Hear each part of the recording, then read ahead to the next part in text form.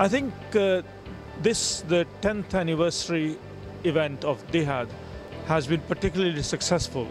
Uh, the event has uh, matured over the years, and uh, what is evident is that uh,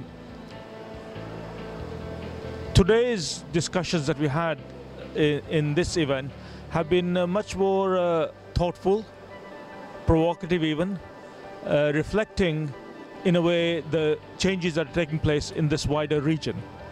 So, what I've seen over the last 10 years is that uh, DIHAD has been very successful in uh, being the mirror of the changes that are taking place in this region and reflecting those changes back at uh, humanitarian and development professionals, as well as raising the level of the debate and asking questions that need to be asked as this region becomes more prominent and better linked to the outside world.